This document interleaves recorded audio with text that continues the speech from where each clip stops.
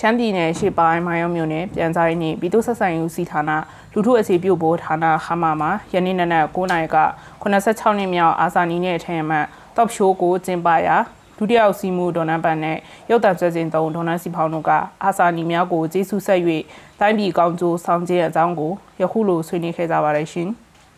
ဟုတ်ကဲ့မင်္ဂလာပါရှင်။ကျွန်မအနေနဲ့ကတော့အာစာနီများကိုကျေးဇူးဆက်၍တိုက်ပြည်ကောင်းကျိုးဆောင်ကြည့်အကြောင်းကိုဆွေးနွေးတွားမှာဖြစ်ပါတယ်ရှင်။2023ခုနှစ်ဇူလိုင်လ19ရက်နေ့ဟာတိုင်းရင်သားပြည်သူအလုံးမမေ့နိုင်သည့်အာစာနီနေ့ဖြစ်ပါတယ်။ဗိုလ်စုအောင်ဆန်းနဲ့အမျိုးသားကောင်းဆောင်များကြဆုံးခဲ့ဒီမှာ86နှစ်တိုင်ရှိခဲ့ပြီဖြစ်ပါတယ်။အာဆာနီကောင်းဆောင်ကြီးများရဲ့ တိုက်ပြည်နဲ့လူမျိုးအတွေ့ဆွန့်လွတ်ဆွန့်စားကြိုးပမ်းအထောက်မှုများနဲ့ကျေးဇူးများကိုယနေ့ထိတိုင်မကကဘာတီတရွေမေ့နိုင်လိမ့်မည်မဟုတ်ပါယမနိုင်ငံဟာပိတိစနယ်ဆဲလက်အောက်မှာနေပေါင်းတရာကျော်အစဲလေခန်အဖိနေခံဘဝဖြစ်နေခဲ့ရပါတယ်ယမမျိုးစစ်တိုင်းရင်သားပြည်သူအပေါင်းတို့ဟာအသက်တွေးဆွေရင်းနှီးပေးဆက်ကနီးမျိုးစုံဖြင့်ဒေါ်လန်ခဲ့ကြပါတယ် ပို့စောအောင်ဆန်းရဲ့ဥဆောင်မှုဖြင့်တတိုင်းပြင်လုံးကိုစီးလုံးကလွတ်လိုက်ရေးအောင်ပန်းကိုဆွတ်ဆူနိုင်အောင်ကြိုးပမ်းဆောင်ရွက်ခဲ့ပါတယ်လွတ်လိုက်ရေးရရှိရန်လက်တကန်းအလိုမှာမတမာတူလက်ဆက်ဖြင့်ရေတင်နစ်ခဲ့ရတဲ့အတွက်ပြည်သူအလုံးနှမျောတတ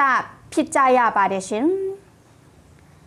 တို့တော့ကျွန်ုပ်တို့ယမနိုင်ငံတူနိုင်ငံသားအပေါင်းတို့ဟာ လွမ်းဆွနေယုံမြဖြင့်တတိယနေယုံမြဖြင့်မပီးတေးပါပို့ဆော့အောင်ဆန်းနေတကွာအာစာနီကောင်းဆောင်ကြီးများမျော်မှန်းခဲ့သည့်လူပေါင်းလောကတိကိုတိဆောက်နိုင်မှတာလင်အာစာနီကောင်းဆောင်ကြီးများအားဥညွတ်အလေးပြုရာအောက်မေ့တတိယရာတစ္ဆာစောက်တိရာကျေစုဆက်ရာရောက်ပေလိမ့်ပါမယ်။ဒါကြောင့်အာဆာနီကောင်းဆောင်ကြီးများရဲ့ လက်ညွမှာကြားချက်များနဲ့ကန့်ညီသည့်နိုင်ငံတော်ဖြစ်ပေါ်လာအောင်ကြိုးပမ်းဆောင်ရွက်ကြရမှာဖြစ်ပါတယ်။ကြိုးပမ်းအားထုတ်ခဲ့တဲ့စီလုံးညီညွတ်မှုကိုမပြတ်ပြားအောင်ထင်းတင်းဆောက်ဆောက်ကြရမှာဖြစ်ပါတယ်။အတက်ပေး၍ရယူပေးခဲ့သောလွတ်လပ်ရေးကိုကာကွယ်ဆောက်ဆောက်ကြရမှာဖြစ်ပါတယ်လို့ဆွေးနွေးလိုက်ရပါတယ်ရှင်။ဆက်လက်ပြီးမြန်မာနိုင်ငံဒီလူလတ်တော်နိုင်ငံတော်အဖြစ် နှစ်ပေါင်း80ကျော်ရက်တည်နေတော့လဲစီလုံးညညွရေးအားနည်းမှုအယူဝါဒနှင့်ခံယူချက်များလွဲမှားမှုတဦးအပေါ်တဦးယုံကြည်မှု နားလည်မှုအားနည်းမှု လူမျိုးဆွဲပုတ်ကုတ်ဆွဲဝါဒဆွဲကြီးမားမှုများကြောင့်ခါတီတော်ဖြစ်ရများကိုကြုံတွေ့ခံစားနေကြဆဲဖြစ်ပါရရှင်။စီလုံးညီညွတ်မှုညော့နေပြီးအချင်းချင်းမညီညွတ်ကြသဖြင့်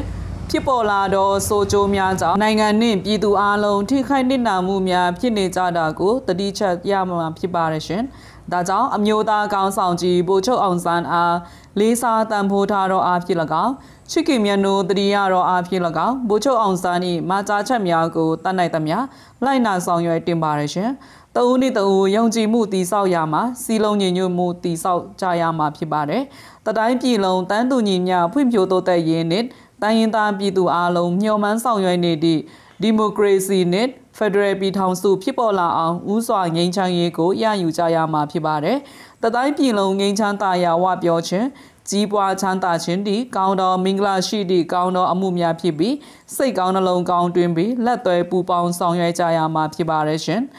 ဒါကြောင့်86နှစ်မြောက်အာဆာနီနေ့အချိန်ကာလမှာအာဆာနီကောင်းဆောင်ကြီးများအားကျေးဇူးဆက်တော်အားဖြင့်လေးစားတန်ဖိုးထားတော်အားဖြင့်တတိယတော်အားဖြင့်နိုင်ငံထူထောင်ရေးနိုင်ငံဖွံ့ဖြိုးတိုးတက်ရေးကို အမုံတရားများအာကာသတရားများဖယ်ရှား၍ပြည်သူအလုံးစီလုံးညီညွတ်မှုဖြင့်ဝိုင်းဝန်းလက်သွဲဆောင်ရွက်ကြရမှာဖြစ်ပါတယ်လို့ဆွေးနွေးလိုက်ရပါတယ်ရှင်။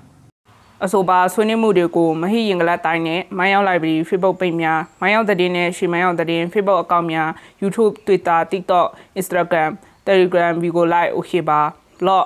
Thread စတဲ့ social media platform တွေမှာလွှင့်တင်ထားတယ်လို့သိရပါတယ်ရှင်။